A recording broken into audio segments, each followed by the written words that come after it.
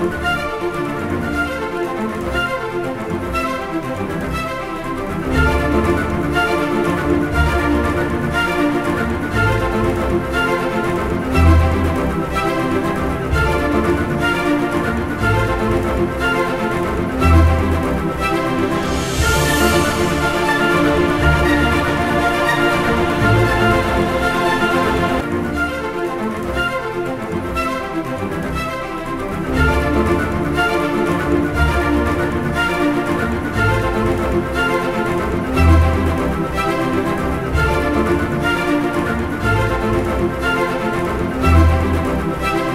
ਸਭ ਤੋਂ ਪਹਿਲਾਂ ਆਪਾਂ ਫਤਿਹ ਦੀ ਅਰਜ਼ ਪਾਈਏ ਵਾਹਿਗੁਰੂ ਜੀ ਕਾ ਖਾਲਸਾ ਸ੍ਰੀ ਵਾਹਿਗੁਰੂ ਜੀ ਕੀ ਫਤਿਹ। ਤੇ ਬ- ਬੜੀ ਵੱਡੀ ਜ਼ਿੰਮੇਵਾਰੀ ਮਿਲਣ ਤੋਂ ਬਾਅਦ ਪ੍ਰਮਾਤਮਾ ਦਾ ਅ, ਦਰਬਾਰ ਸਾਹਿਬ ਦੇ ਵਿੱਚ ਆਸ਼ੀਰਵਾਦ ਲੈਣ ਆਏ ਆ ਇੱਥੇ। ਤੇ ਬਹੁਤ ਜ਼ਰੂਰੀ ਹੈ ਇੱਥੇ ਸਾਡੀ ਅ, ਦੁਨੀਆ ਭਰ ਦੇ ਵਿੱਚੋਂ ਜਿਹੜੀ ਸਿੱਖ ਸੰਗਤ ਹੈ ਵੱਖ-ਵੱਖ ਸਮੁਦਾਇਆਂ ਦੇ ਲੋਕ ਆਉਂਦੇ ਨੇ। ਤੇ ਸਾਡੀ ਪਵਿੱਤਰ ਧਰਤੀ ਹੈ ਇਹ ਅੰਮ੍ਰਿਤਸਰ ਦੀ।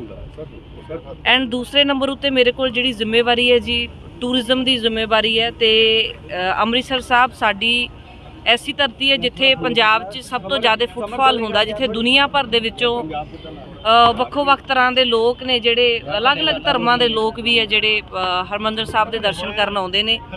ਹੈਰੀਟੇਜ ਸਟਰੀਟ ਹੈਰੀਟੇਜ ਸਾਡੀ ਸਟਰੀਟ ਆ ਹੋਰ ਵੱਖ-ਵੱਖ ਜਿਹੜੀਆਂ ਇੱਥੇ ਜਗ੍ਹਾਵਾਂ ਬਣੀਆਂ ਹੋਈਆਂ ਅੰਮ੍ਰਿਤਸਰ ਦੇ ਵਿੱਚ ਉਹਨਾਂ ਸਾਰੀਆਂ ਦਾ ਮੁਆਇਨਾ ਕਰਨਾ ਹੈ ਦੇਖਣਾ ਹੈ ਜਿੱਥੇ ਕਮੀਆਂ ਨੇ ਕਿਸ ਤਰੀਕੇ ਅਸੀਂ ਜਿਹੜਾ ਅੰਮ੍ਰਿਤਸਰ ਸ਼ਹਿਰ ਨੂੰ ਹੋਰ ਟੂਰਿਜ਼ਮ ਦੇ ਖੇਤਰ ਦੇ ਵਿੱਚ ਪ੍ਰਫੁੱਲਤ ਕਰ ਸਕਦੇ ਹਾਂ। ਕਿਸ ਤਰੀਕੇ ਇਹਦੀ ਜਿਹੜੀ ਟੂਰਿਜ਼ਮ ਦੇ ਵਿੱਚ ਹੋਰ ਜ਼ਿਆਦਾ ਜਿਹੜੀ ਦੁਨੀਆ ਭਰ ਦੇ ਵਿੱਚ ਮਹੱਤਤਾ ਆਸ-ਪਾਸ ਦੇ ਏਰੀਏ ਨੂੰ ਡਿਵੈਲਪ ਕਰਕੇ ਤਾਂ ਕਿ ਲੋਕ ਇੱਥੇ ਠਹਿਰਣ ਲੋਕ ਜਦੋਂ ਹਰਮੰਦਰ ਸਾਹਿਬ ਦੇ ਦਰਸ਼ਨ ਕਰਨ ਆਉਣ ਤਾਂ ਦੋ ਤਿੰਨ ਦਿਨ ਇੱਥੇ ਲਾ ਕੇ ਜਾਣ ਤਾਂ ਕਿ ਇਸ ਚੀਜ਼ ਦੇ ਨਾਲ ਜਿਹੜਾ ਹੋਰ ਸਾਰਾ ਕੁਝ ਵਧੀਆ ਤਰੀਕੇ ਨਾਲ ਡਿਵੈਲਪ ਹੋ ਸਕੇ। ਮੈਮ ਹੈਰੀਟੇਜ ਸਟਰੀਟ ਤੇ ਨਾ ਇੰਕਰੋਚਮੈਂਟ ਦਾ ਕਾਫੀ ਰੌਲਾ ਹੈਗਾ। ਤੁਸੀਂ ਲੰਘ ਕੇ ਆਏ ਹੋਣੇ ਆ। ਨਜਾਇਜ਼ ਕਬਜ਼ੇ ਬਹੁਤ ਕੀਤੇ ਹੋਏ ਨੇ। ਦੁਕਾਨਦਾਰਾਂ ਨੇ ਬਹੁਤ ਕੀਤੇ ਨੇ। ਜਿੱਥੋਂ ਸੰਗਤ ਨੇ ਲੰਘਣਾ ਹੁੰਦਾ ਬਹੁਤ ਦਿੱਕਤ ਆਉਂਦੀ ਹੈ। ਇਸ ਤੇ ਤੁਸੀਂ ਤੁਹਾਡਾ ਕੀ ਕਹਿਣਾ? ਦੇਖੋ ਜਿੰਨੀਆਂ ਵੀ ਹੁਣ ਸਾਰੀਆਂ ਹਰ ਇੱਕ ਚੀਜ਼ ਦਾ ਮੁਆਇਨਾ ਕਰਦੇ ਆ ਜਿੱਥੇ ਕਿਤੇ ਕੋਈ ਕਮੀ ਹੈ ਜਾਂ ਕੋਈ ਇਸ ਤਰੀਕੇ ਦਾ ਜਿਵੇਂ ਤੁਸੀਂ ਦੱਸਿਆ ਵੀ ਕੋਈ ਕਬਜ਼ਿਆਂ ਅਧੀਨ ਆ ਉਸ ਚੀਜ਼ ਉੱਤੇ ਜਿਹੜਾ ਐਕਸ਼ਨ ਲਵਾਂਗੇ।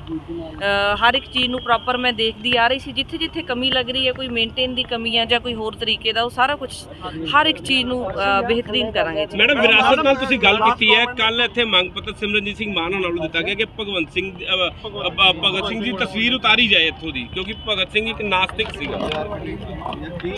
ਕਦੀ ਭਗਤ ਸਿੰਘ ਨੂੰ ਆਤਵਾਦੀ ਕਹਿ ਦਿੰਦੇ ਨੇ ਕਦੀ ਨਾਸਤਿਕ। ਨਹੀਂ ਜੀ ਇਹ ਇਹ ਇੱਕ ਉਹਨਾਂ ਦੀ ਸੋਚ ਆ।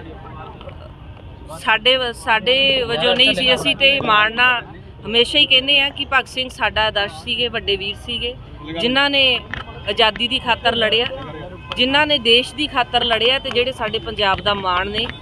ਤੇ ਹੋਰ ਇੱਥੇ ਜਦੋਂ ਗੋਰੇ ਆਏ ਸੀਗੇ, ਉਹ ਸਾਨੂੰ ਆਜ਼ਾਦੀ ਦਿਵਾਉਣ ਤਾਂ ਨਹੀਂ ਆਏ ਸੀ, ਜਿਨ੍ਹਾਂ ਨੂੰ ਗੋਲੀਆਂ ਵੀ ਮਾਰੀਆਂ ਗਈਆਂ ਸੀ, ਉਹ ਕਿਹੜਾ ਸਾਨੂੰ ਇੱਥੇ ਆਜ਼ਾਦੀ ਦਿਵਾਉਣ ਆਏ ਸੀ, ਸਾਨੂੰ ਗੁਲਾਮ ਬਣਾਇਆ ਹੋਇਆ ਸੀ।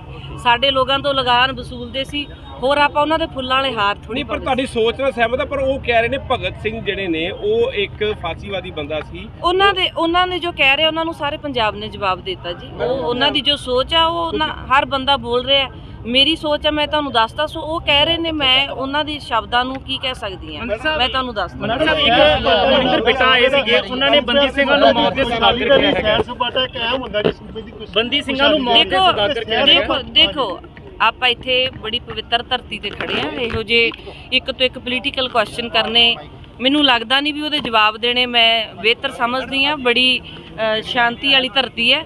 ਤੇ ਆਪਾਂ ਇੱਥੇ ਇਹਨੂੰ ਵਿਕਸਿਤ ਕਰਨ ਦੀ, ਇਹਨੂੰ ਦੁਨੀਆ ਭਰ ਦੇ ਵਿੱਚ ਪ੍ਰਫੁੱਲਤ ਕਿਵੇਂ ਹੋਰ ਹਰ ਕੋਨੇ-ਕੋਨੇ 'ਚ ਸਾਡੇ ਮਹੱਤਤਾ ਦੱਸਣ ਦੀ ਤੇ ਇੱਥੇ ਇੱਥੇ ਲੰਬੇ ਸਮੇਂ ਤੋਂ ਤੁਹਾਡੇ ਜਿਹੜੇ ਮੁਲਾਜ਼ਮ ਨੇ ਮੁਲਾਜ਼ਮ ਇੱਥੇ ਕੱਚੇ ਨੇ ਕੋਈ ਪੱਕੀ ਨੌਕਰੀ ਨਹੀਂ ਹੈ ਕਿਨਾਂ ਦੀ ਜਿਹੜੇ ਟੂਰਿਜ਼ਮ ਵਿਭਾਗ 'ਚ ਲੱਗੇ ਨੇ ਉਹ ਸਾਰੇ ਕੱਚੇ ਨੇ ਤਕਰੀਬਨ 10 ਸਾਲ ਤੋਂ ਰਹਿ ਰਹੇ ਨੇ ਕਿਉਂਕਿ ਉਹ ਡਿਊਟੀ ਨਹੀਂ ਪਰਫਾਰਮ ਕਰ ਪਾਉਂਦੇ ਨਹੀਂ ਸਾਰਾ ਸਾਰਾ ਕੁਝ ਕਰ ਰਹੇ ਆ ਜੀ ਸਾਰਾ ਕੁਝ ਕਰ ਰਹੇ ਆ ਜਿਨ੍ਹਾਂ ਦਾ ਜਿਨ੍ਹਾਂ ਨੂੰ ਕੋਈ ਕਮੀ ਆ ਰਹੀ ਹੈ ਜਾਂ ਤਨਖਾਹ ਘੱਟ ਆ ਹਰ ਇੱਕ ਚੀਜ਼ ਨੂੰ ਆਖਰੀ ਸਵਾਲ maintain ਬੰਦੀ ਸਿੰਘਾਂ ਨੂੰ ਲੈ ਕੇ ਕਰਨਾ।